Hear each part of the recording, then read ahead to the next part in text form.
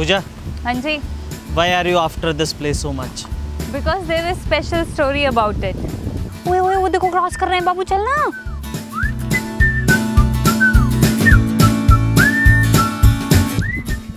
इतने दिनों से जो आप रनिंग कर रहे हो ना आज काम आ जाएगी आपके।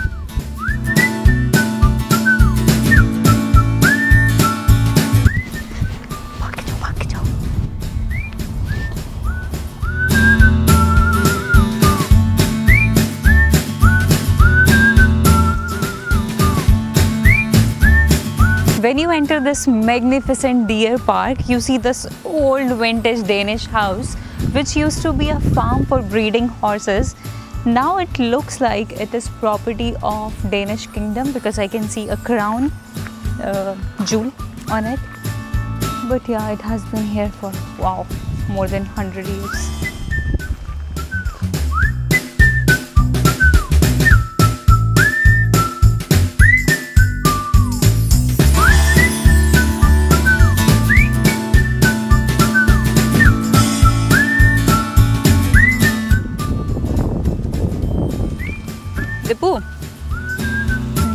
What this place is called?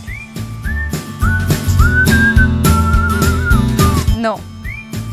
You just came here to see deers, right? You have zero idea what history of this place is or what its name is, significance. Do you know anything? Okay. Let me tell you. Okay, the name is little difficult. It's called Par de Force Hunting Landscape of North.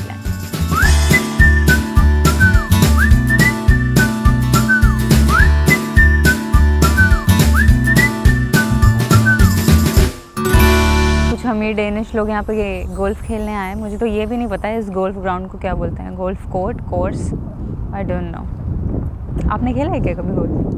Deepu, आपकी list में है?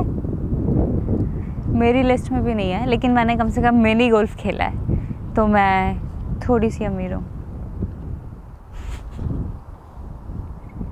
मिल गया मिल गया उसको। मारेगा भी, देखते हैं जाएगा कि नहीं।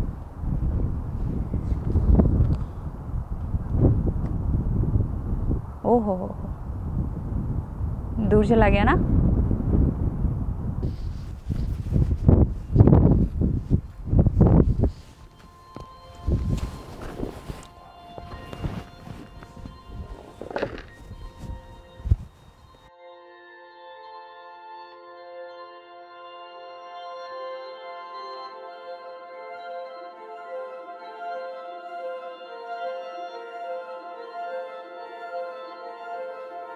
In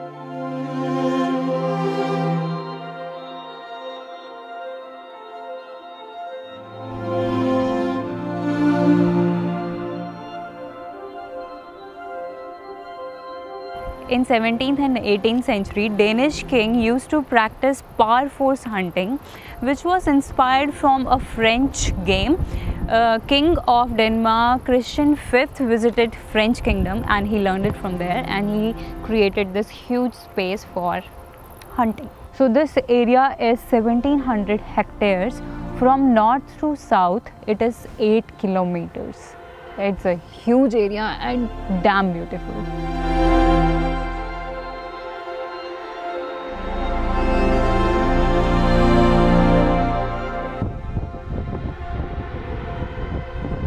But this sport is very brutal. Why?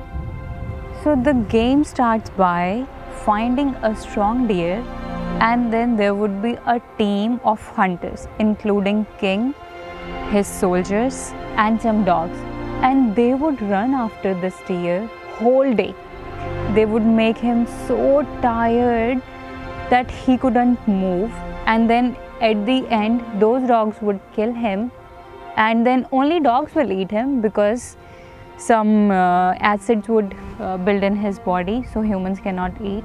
And that's how cruel it was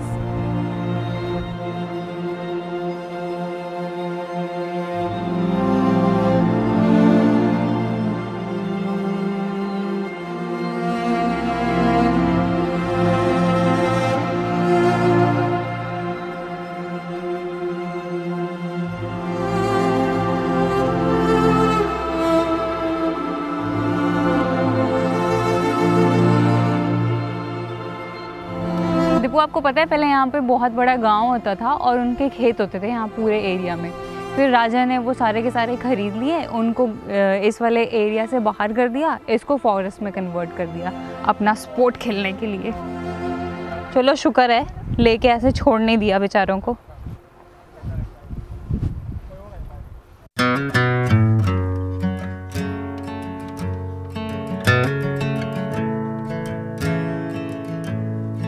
This building behind me is called Hermitage Palace. It's the third hunting lodge built on this property in this deer park. It's the highest point in this whole park and it's a place where every hunting road meets.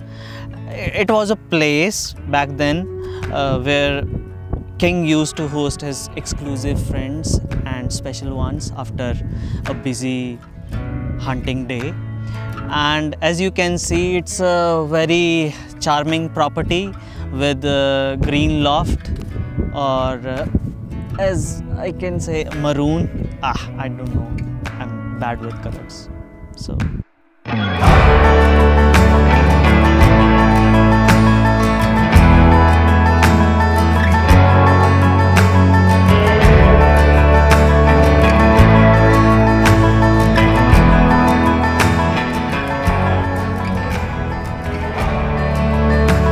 Deer park still functions as hunting grounds.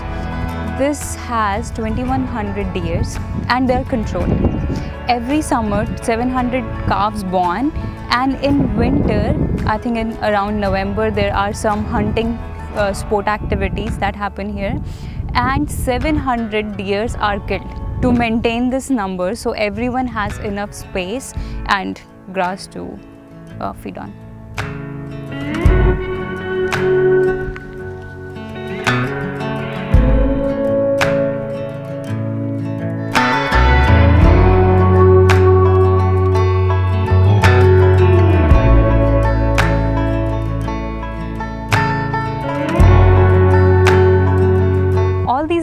Can see here they are male deers and they are called stag because they have big antlers. And do you know every spring they lose them and then grow back. Dipu, I did not know about this. Did you? But this pamphlet does it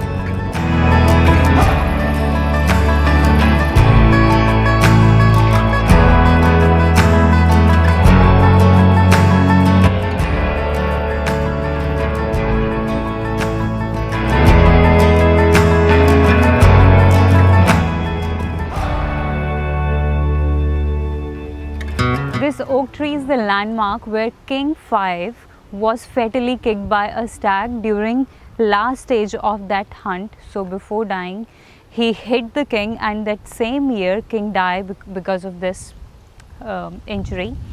So Dipu, I can see a lot of stags there. They are eating. Maybe they are getting ready to kick your ass. So let's go.